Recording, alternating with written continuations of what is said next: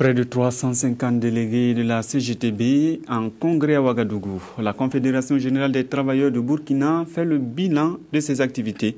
Pour la première fois depuis plus de 20 ans, son célèbre leader, Tolé Sagnon, n'est pas candidat à sa succession. Jonas Wemba, Nathalie Sawadougou. Secrétaire général actuel de la Confédération générale du travail du Burkina entend passer la main à la relève. Il l'a déclaré à l'ouverture du sixième congrès ordinaire de la Confédération.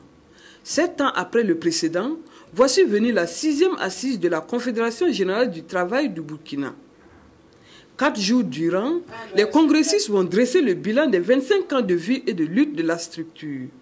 Ils feront le point de la mise en œuvre des recommandations du cinquième congrès de 2006.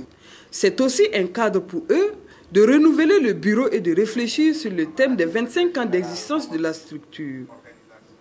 Élevons notre niveau de conscience politique et syndicale pour défendre conséquemment les intérêts des travailleurs et du peuple. C'est sous ce thème donc que se déroule le présent congrès. Les délégations syndicales venues des contrées du Burkina et de l'étranger, à savoir du Niger, du Bénin, de la Côte d'Ivoire, du Sénégal, de la France et de l'Allemagne, ont décrié la précarité dans laquelle vivent les travailleurs. Ils sont unanimes sur un point.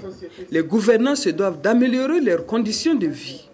Le congrès prend fin le samedi 30 novembre prochain.